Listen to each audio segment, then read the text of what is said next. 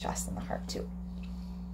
So that's kind of a nice segue to our, our third icon here, and that's a sore throat. This is so annoying to me. This is the worst symptom of a, of a cold and the flu. It's because it hurts, it's painful, you don't want to talk to anybody, you might not even want to eat or drink. Oh, so some of my tips and tricks for that, one of them is what we just talked about with the hot beverages. Hot beverages, especially teas and broths, are mucolytic. So when we come to a, a sore throat, oftentimes it's sore because there's mucus there, and that's the bacteria starting to clump up, and that's the body trying to get rid of the bacteria. So mucolytic means something that kills off mucus. Hot beverages are mucolytic. So a nice hot tea, a nice hot broth can help to decrease mucus in the throat, and it's also very soothing. So hot teas, hot broths are your friend, and they're also helpful for the fever aspect as well. These are there throughout the sore throat and the congestion. I'm going to give some tried and true things you might have heard of, but for the sake of this talk, I'd like to also offer pieces that maybe you haven't heard of before, things, tips and tricks that are unique. So one of the things you might have heard of is hot water with lemon and honey.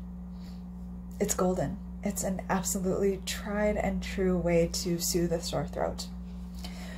Two pieces that are extra helpful with the, the honey and the lemon. The lemon is high in vitamin C.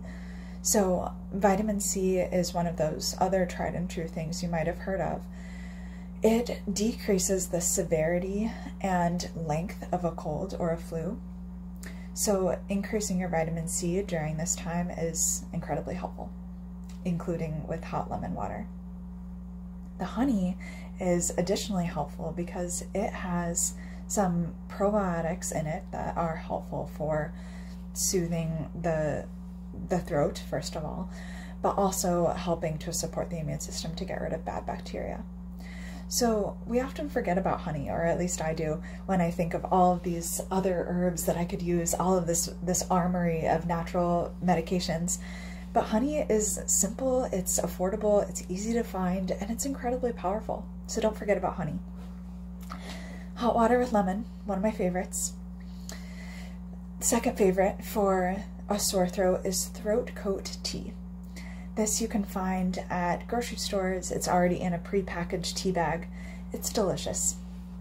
It has a few herbs in it, some some of them antibacterial, so that's extra nice but the the main herbs are soothing soothing agents. So pieces that will soothe the rawness of the sore throat. A lot of them are um, I'm blanking on the the medical term for it right now, but marshmallow and licorice and pieces that are, are very soothing. Demulcents, that's the word. So pieces that help keep the, the throat nice and coated, but also can decrease some of the, the pain in the throat too. Another one of my favorites, my absolute favorites for sore throat specifically is fire cider. So if you turn to the back of your handout or the second page of your handout, I gave you my recipe for fire cider. Fire cider is an ancient folk medicine. It's made with chopping up very antimicrobial herbs like horseradish and ginger and onion and garlic and putting them all in a large vat. I usually use a mason jar with apple cider vinegar. Close the jar and let it sit for six weeks.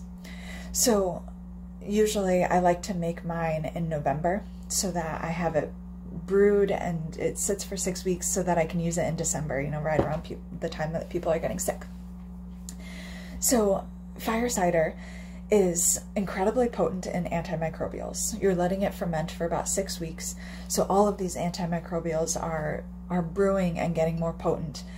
And then after those six weeks, you strain the fire cider, keep it in a jar, you know, compost all the the extra herbs or veggies, and all you need is about uh, two tablespoons, about a shot worth of fire cider when you're feeling that your throat is sore. Two bits of warning for the fire cider. When you're making it, please, please, please don't touch your eyes while you're chopping up these, these herbs and vegetables. They will knock your socks off. They are incredibly potent, especially the horseradish, and I usually recommend people doing um, some peppers in there too because it helps to build heat and it helps with the, the antimicrobial piece. So don't touch your eyes while you're making it. Second piece is once it's strained, you'll keep it in a cool, dark place. Sometimes people like to keep it in the fridge. I prefer keeping it just on the shelf. It's it's quite fine to to keep it on the shelf, and then it's more room temperature when you when you um, swallow it, and that can be more palatable on the throat. It doesn't taste great.